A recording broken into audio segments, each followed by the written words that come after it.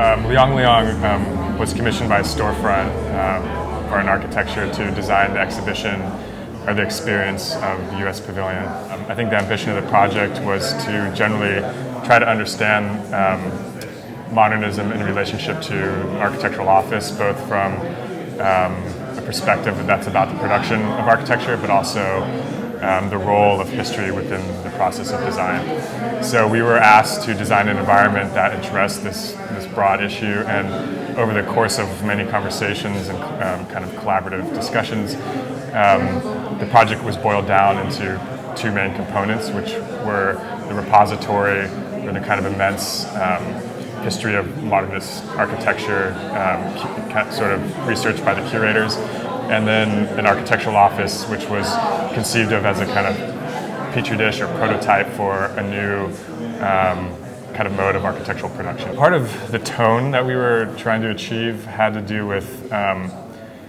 addressing, I would say, what could be perceived as the cliche of modernism, having a certain banality or uh, a certain uh, genericness, and we were trying to um, capture that that tone and amplify it. So a large part of our design was to sort of reconfigure the perception of a very neoclassical uh, building, which is the U.S. Pavilion, and use um, kind of perceptual effects like using mirrors to dematerialize the wall and extend space and extend the figure of the table and also extend the perception of, of the, the archive itself and kind of create this relentless effect um, which you know could be interpreted as metaphoric of modernist ideology of kind of a relentless expansion.